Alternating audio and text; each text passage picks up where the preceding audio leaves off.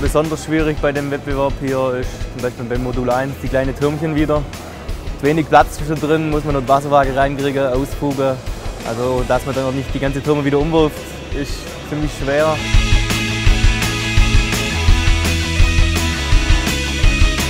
Ich bin froh, dass ich Christoph dabei habe.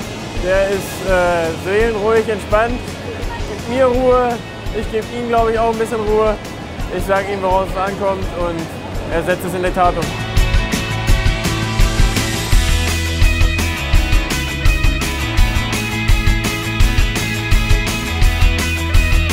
Was mich da antreibt, ähm, ist einfach der Ehrgeiz, äh, sich mal mit dem Besten zu messen.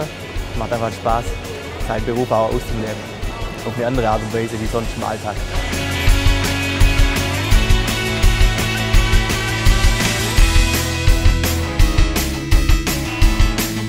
Hier wird deutlich, das sind durchweg attraktive Lehrberufe für junge Menschen. Und wer sich für einen Bauberuf entscheidet, entscheidet sich für einen Beruf mit Zukunft. In Verbindung auch mit Tradition, das sehen wir hier insbesondere beim Maurerhandwerk, ein traditioneller Beruf, der aber auch in die Zukunft reicht.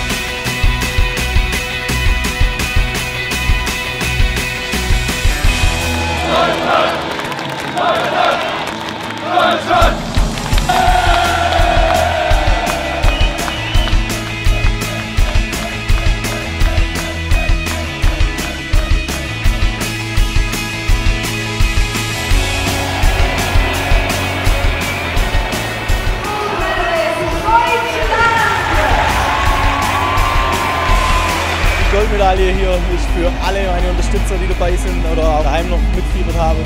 Für den Janis, mein guter Freund und Exporte mittlerweile jetzt.